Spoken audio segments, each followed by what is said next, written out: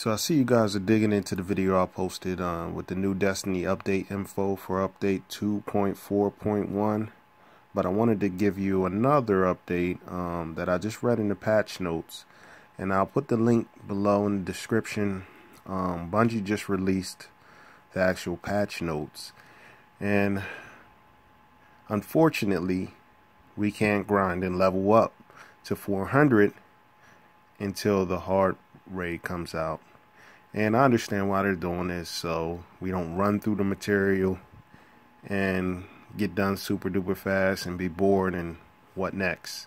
Now, one thing I've heard a lot of gamers say is, um, I wish they would have just said this from the get go, so we wouldn't have been expecting when this first update drops, as it did earlier today, that we could grind and start to open our engrams and start to work in the Archon Forge and the strikes and the, you know, all of those things.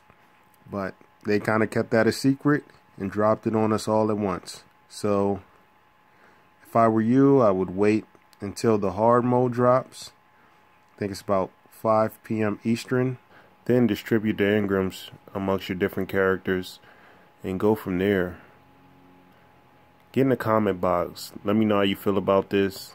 Are you just going to grind in the meantime till we figure this thing out and finally get all the good loot to drop after 5 p.m. Eastern today? What are you planning on doing? Let us know. Just wanted to let you guys know that, give you an update. It's a little disappointing, but we'll wait it out a few more hours and um, then we'll get on and grind. They just don't want everybody running through the material, and I can understand that.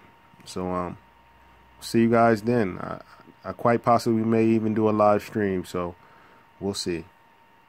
Just wanted to give you guys that update. Thanks for hanging in there. Keep checking back. Later.